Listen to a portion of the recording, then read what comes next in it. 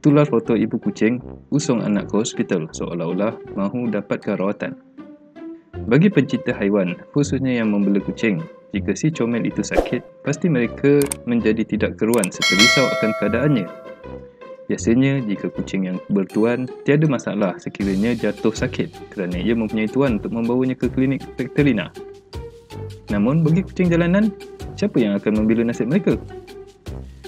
Media sosial hari ini dikejutkan dengan beberapa keping gambar yang tular berkenaan seekor ibu kucing yang membawa anaknya ke hospital dilihat seakan mahu mendapatkan rawatan.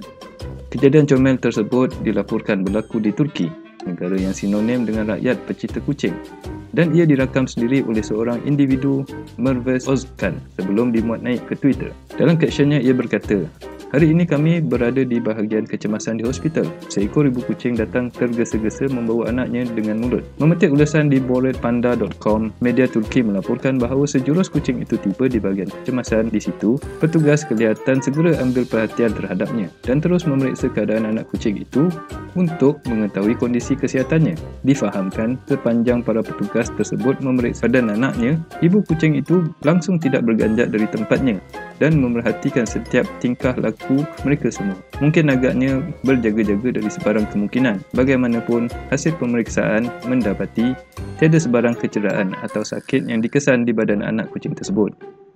Dalam pada itu, petugas kesihatan warga Turki itu terus menzahirkan perasaan kasih pada kucing dengan memberi dua beranak itu susu dan makanan sejurus selesai menjalankan saringan. Si ibu dan anak kucing itu diberi makan agar mereka berasa lebih selesa dan tenang di situ.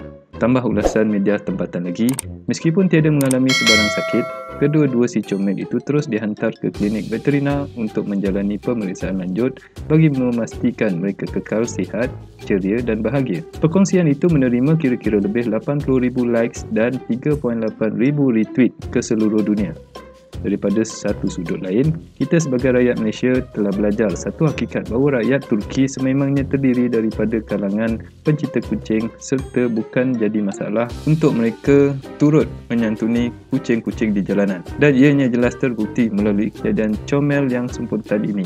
Sementara itu, ramai netizen melahirkan rasa terharu dan bersyukur kerana petugas kesihatan itu sangat bertanggungjawab dan menjalankan tugas walaupun hanya sekadar berhadapan dengan seekor kucing.